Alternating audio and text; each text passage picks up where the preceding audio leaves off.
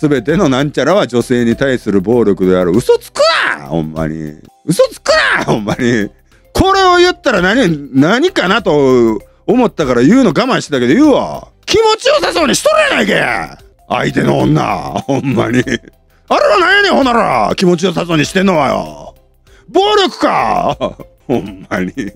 頭おかしいやん、お前。だからこれは、だから、あの、角田とかいうやつは、この、なんつうの、ミシガン大学のキャサリン・マッキノン先生の名言に、ね、女性にも性欲あるやろ、あんま。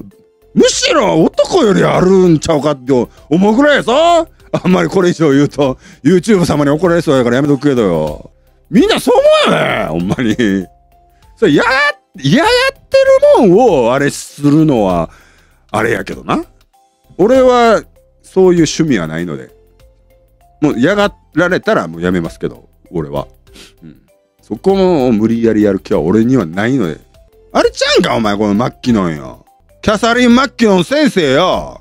お前の旦那だか、旦那とか言ったらあかんのが、お前のパートナーが、下手やっただけちゃうんけ残念でしてね。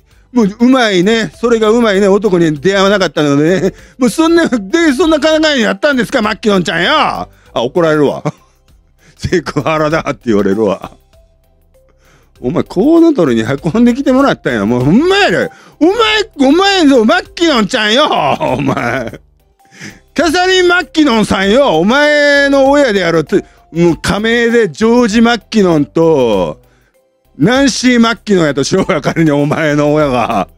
ジョージとナンシーが、やったからお前が生まれてきたんやろうが。その、それを否定か、お前は。ほんなら、それを否定すんやったら自分でなんかもう、滅びるや、勝手に。知らんがよ、ほんなもん。そんなこと押し付けてくんな、こっちに。ボケなすか、ほんま。あ、絶対バンされるわ、もう。しまいにこのチャンネル。せっかく1000人行きそうやのに。